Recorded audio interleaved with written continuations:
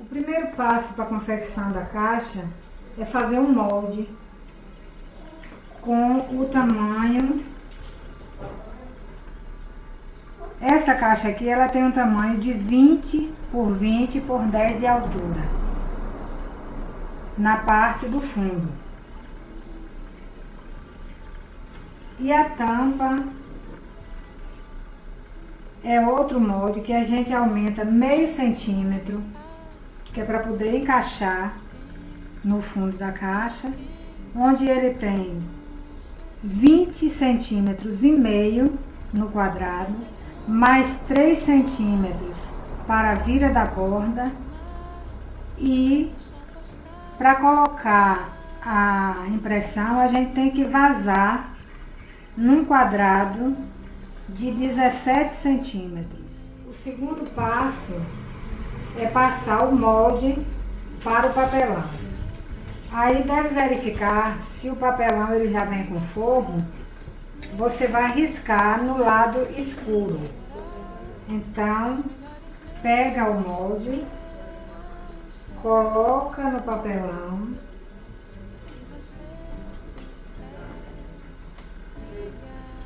bem centralizado. E aí é só riscar. Depois de riscado, você vai ter que vincar para dar para poder fazer a dobradura da, da caixa. Deve ter um vidro.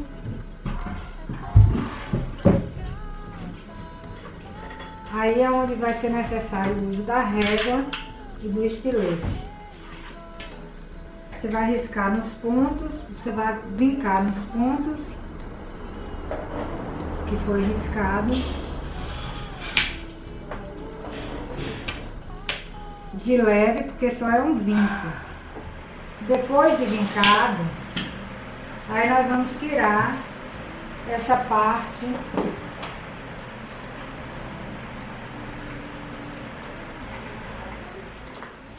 Aí cortando os quatro cantos da caixa, você vira o vinco e vai formar a caixa. Aí para formar você vai segurar com o durex.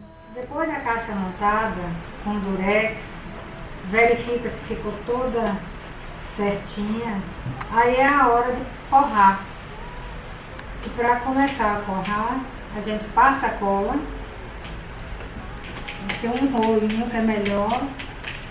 Passa a cola no papelão. Cada lado.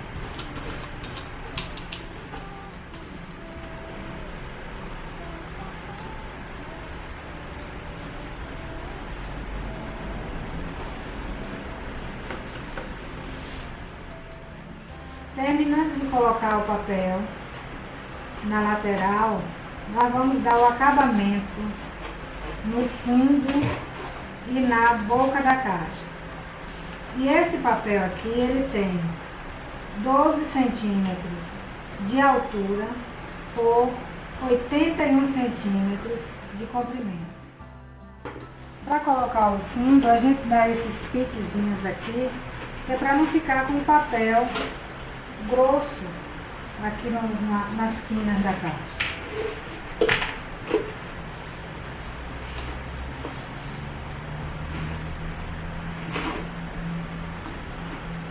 Passa a cola.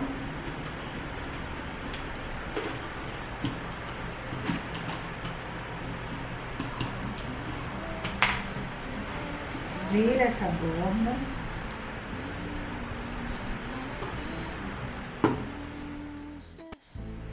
Aí passa a cola.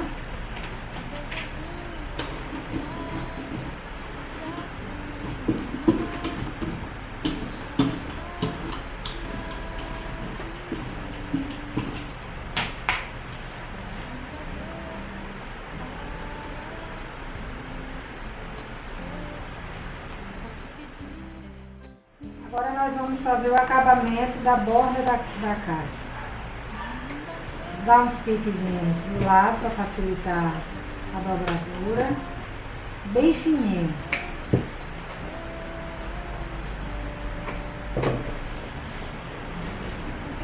Abre.